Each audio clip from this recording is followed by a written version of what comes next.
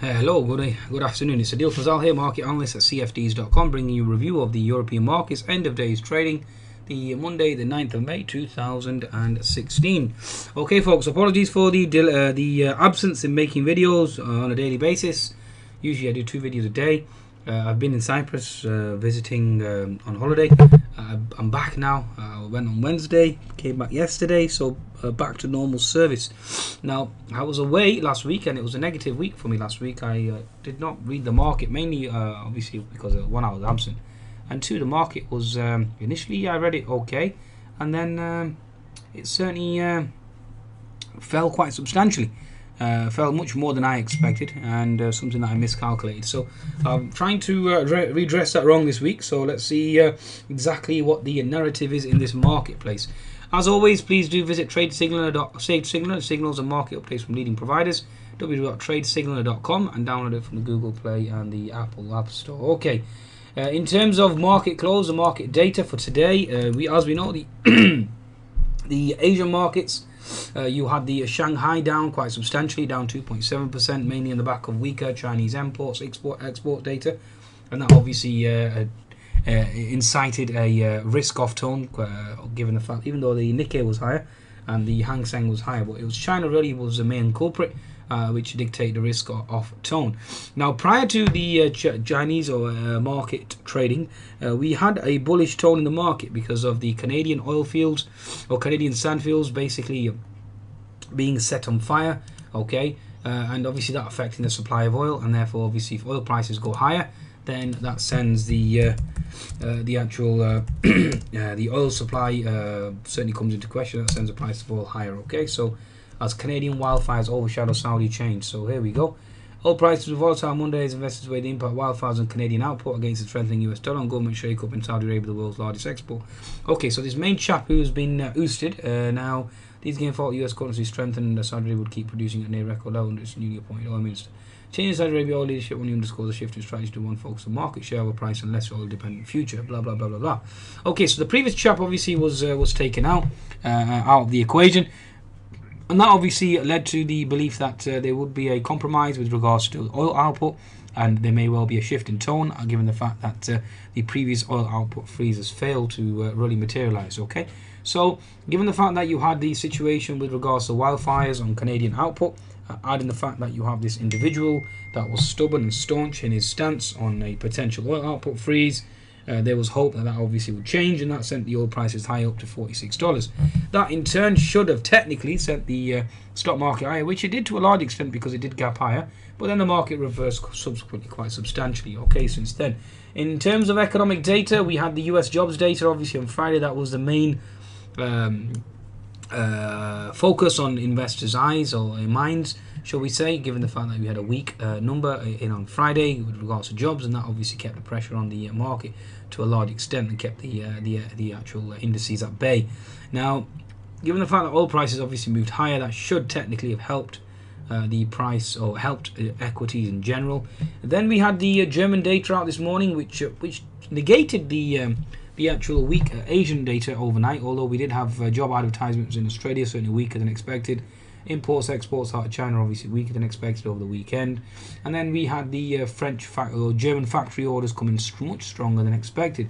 And that certainly helped European markets move higher.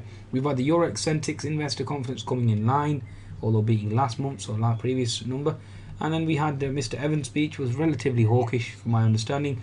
And uh, we had labour conditions that came in slightly weaker, and that's literally it. Okay, that's literally it. So the focus today has been a strengthening of the US dollar, which has been very strange, given the fact that the Aussie itself uh, selling off quite substantially, given the uh, weak job day data overnight. But the uh, Kiwi owl stopped out twice on my longs today, which again very strange. Okay, so very very strange to understand and fathom with regards to the Kiwi and, and the Euro as well. The Euro to a large extent. Okay, now let's see where the market is positioned now, technically speaking. So let's bring up the market for you.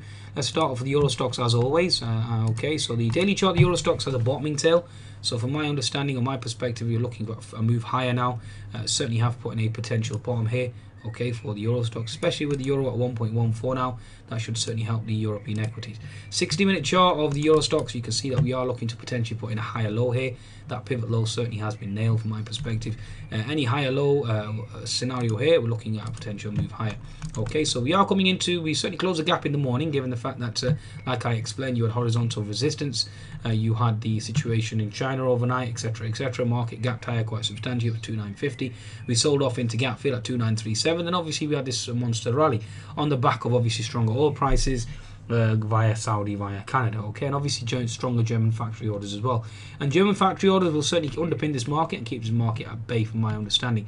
2950 will be a solid support level, and therefore I am looking for a potential move higher from here, okay.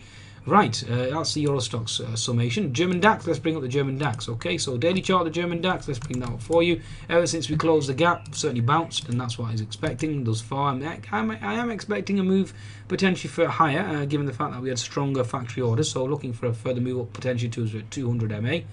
Uh, looking at 200 MA and potentially to 10400 again. There's certainly nothing stopping that. 60 minute chart, we certainly stalled at 200 MA, so watch out for that 200 MA.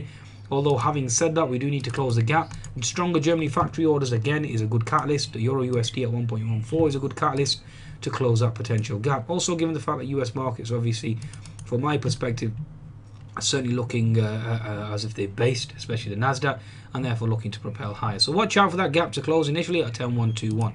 Okay, the uh, 10 minute chart of the uh, uh, German DAX now. Uh, the unfilled gap certainly remains open, and that will remain open. Why? Because you had strong economic data. It's very unlikely for that to close on the back of strong economic data. So certainly bear that in mind. Okay. Looking for a pullback. So any pullback from my perspective is healthy on the German DAX.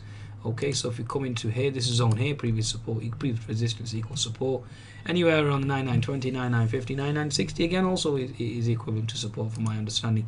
And this is really just one big bull flag. So con consolidation on this bull bullish engulfing candle, looking for a bull flag and then obviously a thrust higher to 10120. So certainly bias at this uh, bias is bullish at this perspective on the German DAX. Okay. Looking at the French CAC uh, on the French CAC perspective, yes, you've certainly put in a bottoming tail whether you want to call that a potential double or double bottom intra, uh, on a uh, daily chart looking to potentially bounce from here. Now looking up to close that gap at 4550 okay? 60 minute chart the French CAC again looking like it's playing out a, a inverted head and shoulders formation here. Okay so uh, certainly looks healthy from my perspective. As you can see you put the left shoulder in okay? Left shoulder's here looking for the head looking for this right shoulder bull flag bang off we go okay so looking at a potential target of 4430 or 4450 okay on the upside so certainly bullish from that perspective. Okay, 10 minute chart on the French CAC. Yes, we did put an intraday high at uh, 4360, but that's certainly dissipated, given the fact that oil prices certainly starting to fall. Okay, so that's certainly dissipated. Right. Okay, so 60 minute chart again, just a higher low, no lower lows, lower highs, looking for a higher low and then looking to potentially reverse. FTSE 100, let's have a look at the FTSE 100 now. Uh, inverted head and shoulders formation. I'm actually long, by the way, on the FTSE, and you can clearly see why. Inverted head and shoulders formation, right shoulder looking to thrust higher. Okay, daily chart on the FTSE itself, bottoming tail certainly is in. Obviously, we've held that support at 6060, now looking to bit of bounce.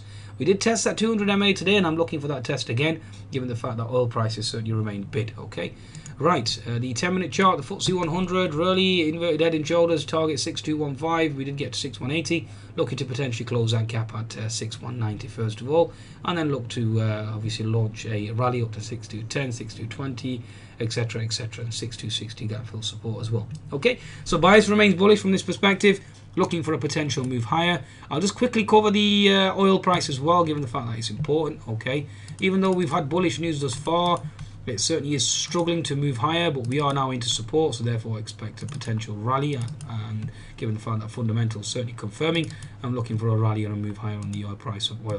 60 minute chart, oil is now into support. That should certainly help global indices and look for a potential move higher. I'm currently long the Aussie and the FTSE and looking for a move higher on the uh, the actual price of oil and the Aussie and the Kiwi, which obviously should help in terms of commodities. Okay, I think that's a market wrap, folks. Okay, be sure to uh, visit tradesignal.com and download the latest app. Goodbye.